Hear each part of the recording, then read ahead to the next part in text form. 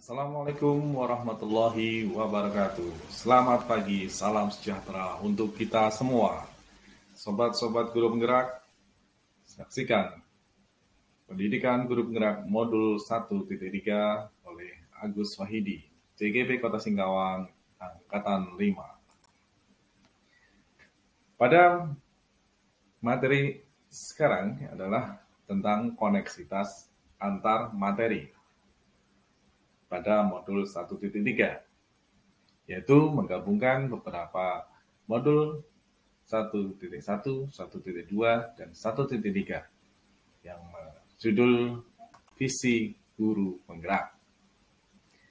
Sesuai dengan apa yang disampaikan oleh Ki Hajar Dewantara tentang visi guru penggerak yang merupakan implementasi maupun perspektif dari filosofi Ki Hajar Dewantara yaitu anak-anak hidup dan tumbuh sesuai kodratnya sendiri.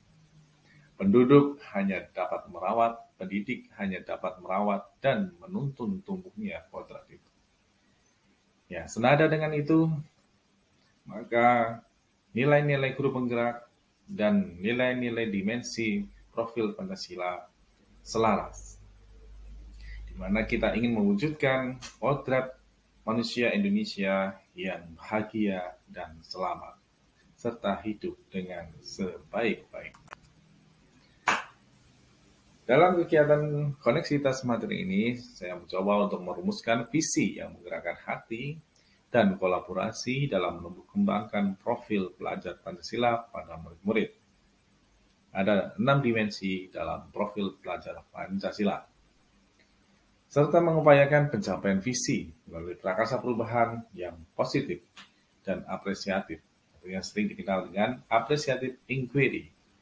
Yang kemudian dalam modul ini kita akrab dengan akronim BAKJA, yaitu B, A, G, C, dan A. B adalah buat pertanyaan, A adalah ambil pelajaran, G adalah kali mimpi, kemudian C jabarkan rencana, dan A atur eksekusi. Kita belajar apa di modul ini? Yaitu kita belajar sebagai seorang guru penggerak, kita harus belajar mengartikulasikan profil pelajar Pancasila dalam kalimat visi. Profil pelajar Pancasila ada enam dimensi, yaitu beriman, dan bertakwa kepada Tuhan Yang Maha Esa, serta berakhlak mulia, pendalat kritis, kemudian kreatif, kolaboratif atau bekerja sama, dan berkebinekaan global, serta mandiri.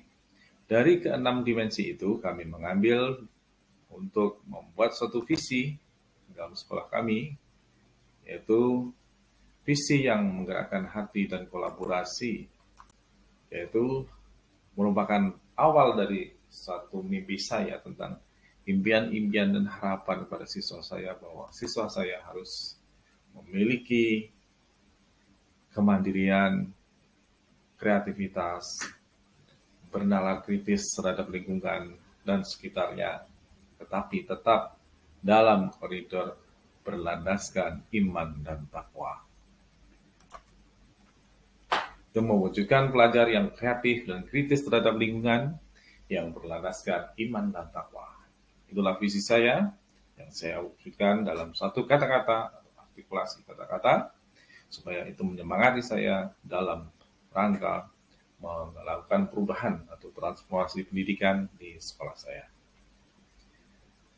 Dari visi tersebut, saya punya prakarsa untuk melakukan perubahan di sekolah saya, yaitu mewujudkan pelajar yang dapat menghasilkan gagasan yang orisinal dalam pembelajaran kimia. Dari prakarsa ini, kemudian saya rangkai dalam satu tindakan, yaitu berupa tindakan sesuai dengan alur manajemen perubahan, yaitu yang dikenal dengan appreciative inquiry, dengan langkah-langkahnya yaitu sesuai dengan akronim BAKJA.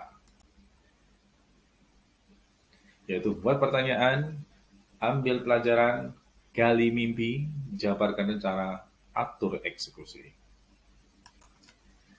Ya, itulah apa yang kami lakukan dalam koneksitas materi, menggabungkan dari satu titik satu tentang filosofi pemikiran Ki Hajar Dewantara, kemudian nilai-nilai guru penggerak yang merupakan